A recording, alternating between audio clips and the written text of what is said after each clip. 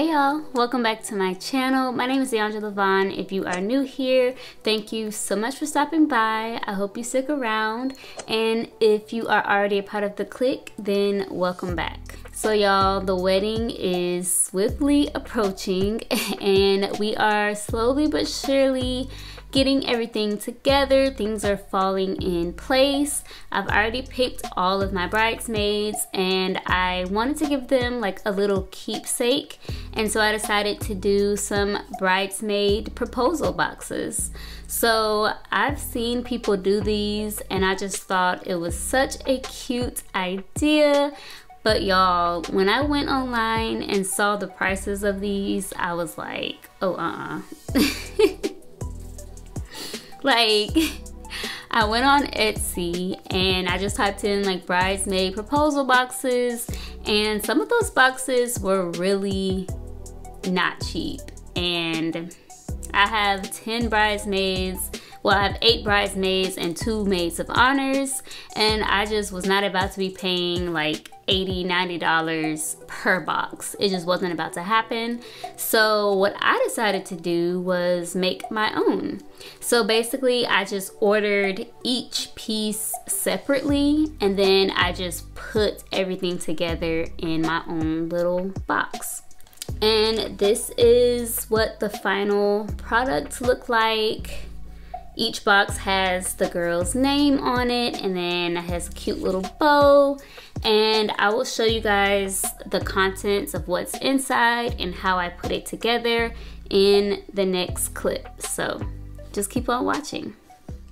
Alright y'all, so I'm starting off with the personalized box and it just says, will you be my bridesmaid on the inside? And for my maids of honors, there said, will you be my maid of honor? Then their name is written really pretty on the front. And this is actually not the same person that I ordered it from, the one that I'm showing on the screen, but it's very similar. They let you pick your color and your font, and then it also has the magnetic part in the front so that you can just close it like that without putting anything on it to tie it together if you don't want to. So next is the paper that I used. This little shredded paper I actually just ordered off of Amazon. I ordered two pounds of it because I really didn't know how much I would need. And I ordered it in white and I just put it on the bottom of the box just to kind of fill it in a little bit to make it look really cute. So next I used these plastic glasses and they're also personalized with each bridesmaid's name on it. So I just thought those were super cute and they're blue. Everything that I ordered was blue y'all because that's the color of my wedding.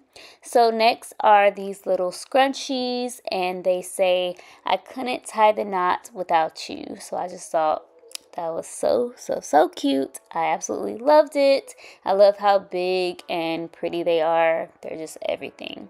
So next is these candles and they say I couldn't say I do without you.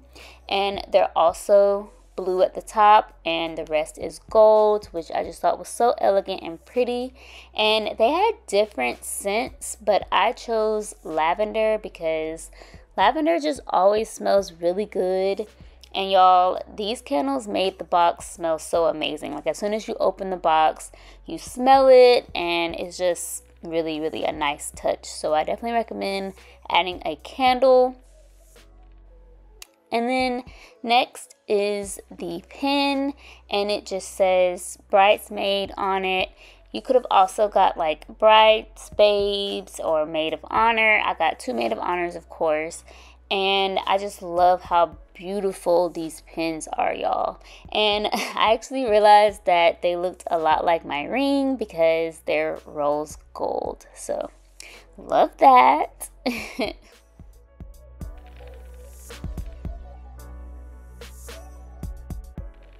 So this is what the box is looking like so far.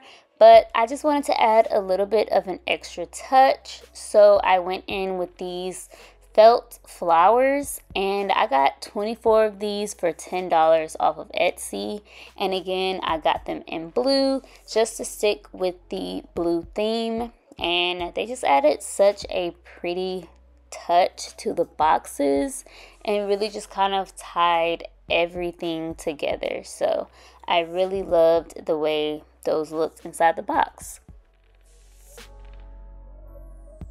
And these are the final results. I absolutely love them. And finally, I'm going in with the ribbon. I'm just using this white ribbon, but you can use whatever color you want for your box. And it has two holes inside the box, so I just put the ribbon through each of the holes, close the box, and then tied it into a nice pretty bow.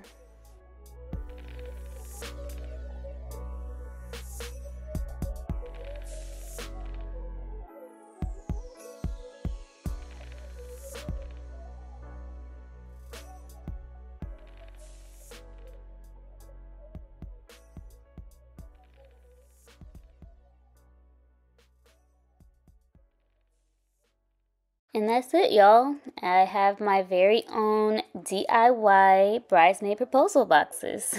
so I absolutely love them. Like I said, my bridesmaids love them. I'm so, so happy that I did this. If you guys enjoyed this video, then please give it a thumbs up. And don't forget to join the clique if you haven't already done so by hitting that subscribe button. And check out some other videos on my channel. Thank y'all so much for watching. I will see y'all next week in my next video. Bye.